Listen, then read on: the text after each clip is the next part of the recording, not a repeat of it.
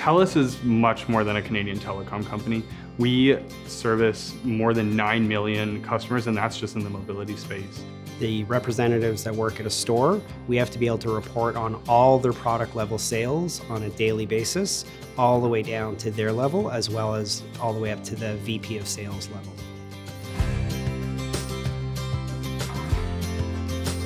Some of the challenges I had before using Domo were getting all the relevant data in one place and then uh, pushing the limits of visualizations, making sure that insights could be driven from the visualizations that we create to allow for the conversations about performance to be driven around how do we get better versus worrying about how does this look versus how does that look. Static data, data that you kind of stare at and it doesn't change in spreadsheets, kind of doesn't answer enough. And there's really nothing to compare it to. And so being able to look at data in a dynamic way that changes real time is so powerful for us. In telecommunications, the biggest day of any week is the Monday. It's how you review, how do we do this past weekend? The person driving that conversation on a Monday morning prior would be going to probably about three or four different dashboards, sometimes exporting and then sometimes consolidating that into one visual. So it became really difficult to support.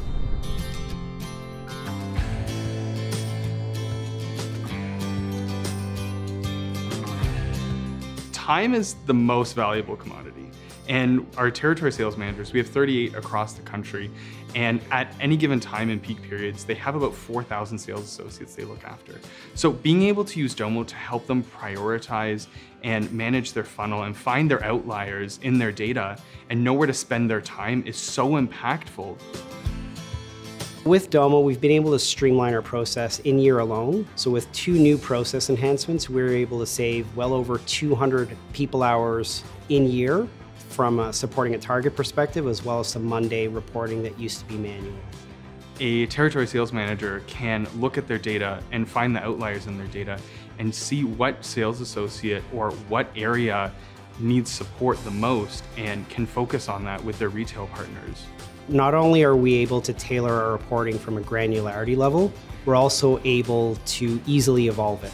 What's been great about using Domo is you can take that report from a, a what I would call like a numerical table, the wall of numbers, and then so you can quickly change that into some kind of a column chart or some kind of a visual that can quickly define whether or not we're doing good or bad and how are you trending over the last few months.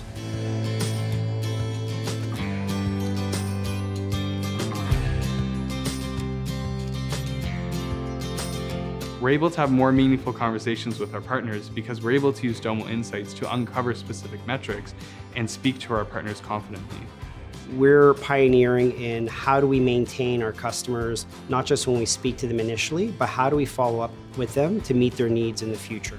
How do we ensure that they are very much interested in knowing what new products we have available? With Domo, we can compare our data versus not only last year, but two years before, three years before, or even different peak periods to understand how we're performing now comparative to another time period.